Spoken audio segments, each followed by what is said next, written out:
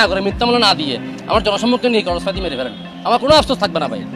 নরবসু আমি নাম রাখছি নরবসু আমার ছেলে দশ করতে ভানি মেজে আসসালামু আলাইকুম প্রিয় বন্ধুরা ওসি প্রদীপের ভাতিজা কতটা হিংস্র তা হয়তো আপনারা এই ভিডিওটি না দেখলে বুঝতে পারবেন না। আপনারা একজন কোরআনের হাফেজকে কতটা কষ্ট দিয়েছে এই ওসি প্রদীপের ভাতিজা সেটা আপনারা দেখতে পাবেন। তাই বন্ধুরা ভিডিওটি সম্পূর্ণ না দেখে কোথাও যাবেন না ভিডিওটা ভালো লাগলে অবশ্যই লাইক দিবেন। এবং বেশি বেশি শেয়ার করে অন্য কোথাও শুরু করে দিবেন। চলুন বন্ধুরা আমরা সর্বপ্রথম ওসি প্রদীপের ভাতিজার সেই ভিডিওটি দেখে আসি। নরবসু আমি নাম রাখছি নরবসু আমার ছেলে দশ করতে ভানি মেজে আমি তো কিছু করতে পারি আমি হাঁটতে পারি না। আমার নিজে চলতে কষ্ট আমি রাজনীতি কীভাবে করব? এই অবস্থা আমরা হয়রানি না করে মিথ্যা মামলা না দিয়ে। আমার জনসম্মুখে নিয়ে খরচপাতি মেরে ফেলেন। আমার কোনো আফসোস থাকবে না ভাই। সাইফুল ইসলাম। কোরআনে হাফেজ হলেও পেশায় ছিলেন একজন ব্যবসায়ী। তবে পাশাপাশি করতেন জাতীয়তাবাদী দল, বিএনপির ছাত্র রাজনীতি। ছিলেন নগদ ছাত্র দলের সাবেক সহ সাধারণ সম্পাদক। আর এই রাজনৈতিক প্রতিহিংসার শিকার হয়ে গেল বছরের ষোলোই জুন নগরীর বায়জিৎ লিংক রোডে পুলিশের গুলিতে পা হারিয়ে আজ পঙ্গু সাবেক এই ছাত্রনেতা। পুলিশকে পাঁচ লাখ টাকা চাঁদা না দেয়ায় তার সাথে এমন ঘটনা ঘটেছে বলে জানিয়েছেন এই ভুক্তভোগী। জানালেন সেদিন ঘটনার লোমহর্ষক বর্ণনাও। দু হাজার একুশ সালের জুন মাসের ষোলো তারিখ। আমি বাহা থেকে বের হই রাতের সাড়ে আটটার দিকে। আমার হোটেল ছিল পতেঙ্গাতে সেনোরা হোটেল। না হোটেল হোটেলে যাওয়ার জন্য বের হয়ে আমার ছোট আকাশ ফোন দেয় বাইতে এসে ছিল আকাশ। শাহজাহান প্রকাশ আকাশ। ছোট আকাশ নামে সবাই সবাই চিনে। ফোন দেয়, বলে সাহেব, কিছু জরুরি কিছু কথা আছে, আমার সাথে দেখা করে কী বিষয় বলে মামলা সংক্রান্ত বিষয়। তা আমি বললাম, ঠিক আছে আমি কই আসব? বলে যে, অক্সিজেন নাই। আমি অক্সিজেন মরে গিয়ে আবার ফোন দিয়েছি। আমার কল রেকর্ডটাও আছে। অক্সিজেন মরে গিয়ে ফোন দেওয়ার পরে দিয়ে আমরা বলে আমি হোটেল জামানা নেবে জামানে আই তা আমি দেখে শুনে জামানা ঢুকলাম। মোটরসাইকেল নিয়ে গেছি, মোটরসাইকেল রাখে জামানা ঢুকছি। জামানা ঢুকার এক পর্যায়ে বলতে কী খাবি? আমি যে, চা বড়টা খাব। চা বড় অর্ডার দিয়ে, চা বড় অর্ডার পর এক পর্যায়ে Shri Kamruzzaman, Meher Hossain Das, S I S I Nazrul ভাই Tanvir S I S I Saiful, S I Rabiul, S I Nunabi আসি আমার ঘিরে ফেলে, সিভিল ড্রেসে। এসে ঘিরে ফেলে ওরা সবাই মাস্ক পরা ছিল। এই সময় ঘিরে ফেলে আমার একটা মাস্ক দেয়। হ্যাঁ সিভিলে ছিল আমার একটা মাস্ক দেয় আমার মাস্কটা ওরা আমার আমার মুখে মাস্কটা ফিটিং করে দেয়। এরপর আমার এখানে একটা পিস্তল ঢাকায় পড়েছে, প্যাটের মধ্যে পিস্তল ঢাকায় পড়েছে, সাইফুল একদম চুপচাপ, কোনো সাউন্ড করবি না। সাউন্ড করবি গুলি করে দিব। এটা বলে মাত্র আমি হাসতেছি, আমি তো বাইক আমার তো কোনো ওয়ারেন্ট নেই, আমার কেন গুলি করব? আমি হাসতেছি, স্বাভাবিক। সাধারণ মতো আমি স্বাভাবিক অবস্থায় ওদের সাথে হোটেল থেকে বের হয়েছি। একটা প্রাইভেট কার ইয়ে আপনার অফ হোয়াইট কালারের অফ হোয়াইট কালারের একটা প্রাইভেট কার দ্বারা ছিল, ওটা গেট খুলে আমার সামনে, পিছনে বসাইছে, পিছনে বসে আমার চোখ বাঁধি ফেলছে। চোখ বাঁধে আমার মুখটাও বাঁধি ফেলছে গামছা দিয়ে কারের ভিতরে বসাই। হাতে হ্যাংকাপ হ্যাঁ প্রাইভেট কারে হাতে handcuff S I S S Saiful আন্দুবিন Nazir Tanvir কারে ছিল? আমার বিভিন্ন সিটিতে সিটির বিভিন্ন জায়গায় ঘুরাইছে আমার। হ্যাঁ আমার টাইম স্পেন্ড করতেছে টাইম নষ্ট টাইম ইয়া টাইম টাইম নষ্ট করতেছে আর কি। এবং রাতের একটার দিকে আমার বাজি লিঙ্ক নিয়ে যায়। লিঙ্ক নিয়ে যাওয়ার আমি দেখি যে আসলে আকাশ একটা হাতে করে একটা ব্যাগ নিয়ে আসছে। ব্যাগটা নিয়ে আসার পরে আমার গাড়ি থেকে নামাইছে। ওরা আমার ওসি কামড় ওষুধ বলে যে টাকা লাগবে পাঁচ লাখ। আরে পাঁচ লাখ টাকাই তারপর ও ভোর থেকে অর্ডার আছে তোরা একটা ফের তোরা তোরা শেষ করে দিব ভোর থেকে অর্ডার আছে। অসম্ভব, আমাকে টাকা না টাকা দিতে পারব না। এটা বলে টোরা আমি বসে আছি গাড়িতে। আমার এরপর দিয়ে ওষুধ আবার গাড়িতে নামাইছে। নামানোর পর গাড়ি চোখ খুলছে। চোখ খোলার পর দিয়ে আমার রাস্তা থেকে মেন রোড থেকে কাঁচা রাস্তায় নিয়ে গেছে আমার। কাঁচা রাস্তায় নিয়ে যাওয়ার পরে আমার মুখের ইয়ে যে জিনিসটা আছে ওটা আবার টাক করে লাগাইছে, মুখের গামছাটা সাউন্ড করতে না পারি। মেন রোডের মধ্যে কয়েকটা পুলিশ দাঁড়ায়, ডাকাত ডাকাত বলে কয়েকটা ফায়ার করছে, প্রায় দশ বারো রাউন্ড ফায়ার করছে। ডাকাত ডাকাত বলে ব্লেন্ড ফায়ার হ্যাঁ ফায়ারগুলো ছড়াইছে। ফায়ারগুলো ছড়ার পরে দিয়ে ও ওসি কামরুজ্জামান আমার এই বাম পায়ে শর্ট গান দিতে শ্যুট করে। প্রথমে একটা শ্যুট করে।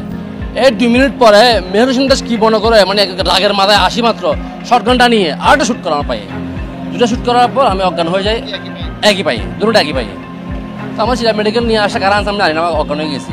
ও দেখি যে আমি সিরা মেডিকেলে জ্ঞান জ্ঞান ফেরার পর আমার গার্ডিয়ানরা ফোন করছে গার্ডিয়ান গার্ডিয়ানরা আসছে। নিয়ে গেছে রাখানি যাওয়ার পর আমার একটা পা কাটি গেছে চিকিৎসাধীন অবস্থায়। এমন যেমন, এমন এমনভাবে গুলোটা করছে যে আমার রগগুলো যে রগগুলো ছিল, রগগুলো ছিঁড়ে ফেলছে। রক ছিঁড়ে যাওয়ার কারণে পার্টি করতে পারে নাই। ওরা আমার পা কেটে ফেলছে, একটা অস্ত্রমা চালান দিচ্ছে, আমি নয় মাস ভিতরে ছিলাম। নয় মাস কাস্টডি খাটার পর আমি যাবি, উচ্চতা থেকে জামিন নিয়ে বের বেরোবার চার দিন পর আমার বাসায় বাইচানা পুলিশ আবার গেছে। সিসি ফুটেজ অবশ্যই আমার আমি অপর চালিয়ে দিতে পারব আমি। আর ফুটেজ বাইচানা পুলিশ বাসা হুমকি দিয়েছে তো মামলা না করি, তাতে মামলা করলে আবার অবস্থা খারাপ খারাপ হয়ে যাবে। তাই মামলা করি নি আমি। আমি ছাত্র রাজনীতি করি, আমার ভালো অবস্থা আছে, আমার কর্মী বাহিনী আছে, এটাই। কিন্তু পা যাওয়ার পর থেকে আমি রাজনীতি আগের মতো নাই, আমি তো কিছু করতে পারি আমি হাঁটতে পারি না। আমার নিজে চলতে কষ্ট, আমি রাজনীতি কীভাবে করব? এই অবস্থা আমরা হয়রানি না করে মিথ্যা মূল্য না দিয়ে, আমার জনসম্মুখে নিয়ে খরচপাতি মেরে ফেলেন। আমার কোনো আফসোস থাকবে না ভাই। পুলিশের এমন নেককারজনক ঘটনার বিচার চেয়ে ভুক্তভোগীর মা বাদী হয়ে রোববার দ্বিতীয় মেট্রোপলিটন ম্যাজিস্ট্রেট অলিউল্লাহর আদালত চট্টগ্রামে একটি মামলা দায়ের করেন। আজকে যে মামলাটা হয়েছে, আপনারা জানেন, এটা দু হাজার একুশ সালে পাকিস্তান একটা আলোচিত মামলা। বাজি লিঙ্ক রোডে গিয়ে ওকে বলছে, তুমি পাঁচ লক্ষ টাকা দিতে হবে তোমাকে, নাহলে তোমার ক্রস ফায়ার কি আছে? নির্দেশনা আছে। ও বলছে, আমি কোথেকে টাকা দিব? আমি টাকা দিতে পারব না। পরবর্তীতে ওই পুলিশের যে সোর্স আকাশ, সে একটা থলে নিয়ে আসছে। থলে নেওয়া আসার পরেই কিন্তু একেবারে খুব একেবারে কাছ থেকে তার পায়ে গুলি করা হয়েছে। কামরুজ্জামান সাহেব নাকি নিজে গুলি করেছে? হ্যাঁ জি জি, কামরুজ্জামান সাহেব নিজে গুলি করেছে এবং আমাদের অত্যন্ত আলোচিত, সমালোচিত, নিন্দিত, নন্দিত ওসি প্রদীপের ভাতিজা মিহির অসীম অসীম দাস, ও আরেকটা গুলি করছে। এভাবে গুলি করে, এভাবে গুলি করা হয়েছে, তার পাটা যাত্রা করে দেওয়া হয়েছে, তারপরে আরও আঠারো দিন পরে ওখান থেকে অ্যারেস্ট দেখিয়ে ওকে অস্ত্র দিয়ে আবার সালাম দিয়েছে। খাজতে ছিল, ওর বাইকে ব্যস্ত মামলা দেওয়া হয়েছে। এবং রিসেন্টলি গত মাসে পাঁচ থানা, আমাদের চট্টগ্রাম কোর্ট বিল্ডিং থেকে, এনএস ভবন টুর সামনে থেকে ওকে অপহরণ করে নিয়ে গিয়ে আবার অস্ত্র মামলা দিয়েছে। এটা কিন্তু আমাদের ভিডিও ফুটেজ আমাদের কোর্ট বিল্ডিং যে সিসি ক্যামেরা এখানে ভিডিও ফুটেজগুলো সংগ্রহ করে আদালতকে দেখিয়েছি এম এম সিক্স ওকে আবার এম এম সিক্স ওকে আবার জামিন দিয়েছে। আজকে আমরা ওই সবগুলো সেকশন দিয়ে একটা বিজ্ঞসি এম এম কোর্টের আমরা মামলা ফাইল করেছি। ফাইল করে সব কাগজপত্রগুলো দেখেছে। দেখার পরে বিক্টিমের জবানবন্দিও নিয়েছে, পাও দেখেছে এবং বাদিনী জবানবন্দিও নিয়েছে। বিজ্ঞ আদালত বলছে, আমি একটা দেখে আমরা জুডিশিয়াল ইনকোয়ারি চেয়েছি যেহেতু পুলিশ ডিপার্টমেন্টে তদন্ত যদি পুলিশ ডিপার্টমেন্ট করে, তাহলে এখানে আপনারা দেখতে পাচ্ছেন কী হচ্ছে। আমরা জুডিশিয়াল ইনকোয়ারি চেয়েছি তখন কোর্ট বলছে, আমি দেখে ইনশাল্লাহ আদেশ দিব। তাছাড়া হচ্ছে ন্যায় বিচার। হ্যাঁ? তো ন্যায় বিচার কতটুকু আছে? এখন বাংলাদেশের সাধারণ যারা মানুষ, ওদের সর্বশেষ আশ্রয়স্থল হচ্ছে বিচারাঙ্গন। বিচারাঙ্গনও কীভাবে হচ্ছে? কীভাবে নিয়ন্ত্রিত হচ্ছে এটা আপনারা জানেন। সীমিত আকারে। কিন্তু তারপরে মানুষের যাওয়ার একমাত্র আস- আস্থার স্থল হচ্ছে বর্ষার স্থল হচ্ছে বিচারাঙ্গন। তাহলে বিচারাঙ্গন মানুষ আসছে। এখন বিচারাঙ্গন এটা দেখবে। একটা যদি মনে করেন না কোনো একটা জাজমেন্টকে আমাদের বিপক্ষেও যায় এটা রিভিশন হবে। ভুক্তভোগী সাইফুল ইসলামের মা এই ঘটনার সুষ্ঠু বিচারের দাবি জানান। আমার ছেলে আমার ছেলে ও কোরআন হাবেজ এই কোরআন হাবেজ রাজনীতি করে অপরাধ।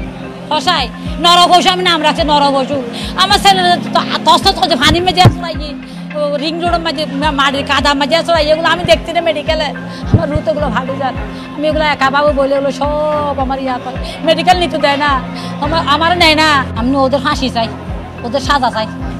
ওসির ওসি কামরুজ্জামানের, অসীম দাস, সাইফুল, তাম্বির আকাশ নুন্নবী ওরা ফাঁসি চাই। ফতিবির মতো ফাঁসি চাই। ফতি ফতিবির যে ফাঁসি, আল্লাহ, এই ফাঁসি যেন তারা দেয় ভান এ মামলায় বাইজিদ থানার সাবেক ওসি মোহাম্মদ কামরুজ্জামানকে প্রধান আসামি করে SI Meher Asim Das, SI Mohammad Saiful Islam, ASI Rabiul Hossain, SI Najibul Islam Tanvir SI Nurnabi ও থানা সোর্স শাহজাহান প্রকাশ সোর্স আকাশকে আসামি করা হয়। এদিকে মামলা আমলে নিয়ে ঘটনার সত্যতা যাচাইয়ে চট্টগ্রাম নগর পুলিশের কমিশন বন্ধুরা ওসি ভাতি ভাতিজার কী শাস্তি হওয়া উচিত অবশ্যই কমেন্ট বক্সে জানাবেন। চলুন বন্ধুরা, এবার আমরা আলী হাসান ভাই সেই ভিডিওটি দেখে আসি। বন্ধুরা, আলী হাসান ভাই, কতগুলো আপনাদের কাছে কেমন লেগেছে অবশ্যই কমেন্ট বক্সে জানাবেন। আজকে ভিডিও পর্যন্ত। ভিডিওটি ভালো লাগলে অবশ্যই লাইক এবং বেশি বেশি শেয়ার করুন। কথা শুরু করে দেবেন। আসসালামু আলাইকুম।